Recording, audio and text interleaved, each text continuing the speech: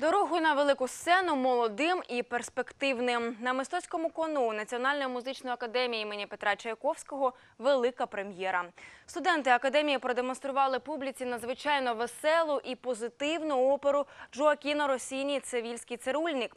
Інформаційним партнером театрального дійства виступив центральний канал. А підтримали студентів і викладачів творча спілка Асоціація діячів естрадного мистецтва України разом із громадською радою при Київській обласній державній адміністрації. Молодь в всіх своїх проявах е, вона повинна формувати зараз нове мислення, формувати нову державу, формувати нові ідеї. Обласна державна адміністрація завжди буде підтримувати такі починання, підтримувати молоді таланти, е, молодь, яка дійсно змінює, яка дійсно вірить і вірить в те, що вона робить. І тоді в нас все буде получатись. І наша країна буде змінюватись тільки на краще.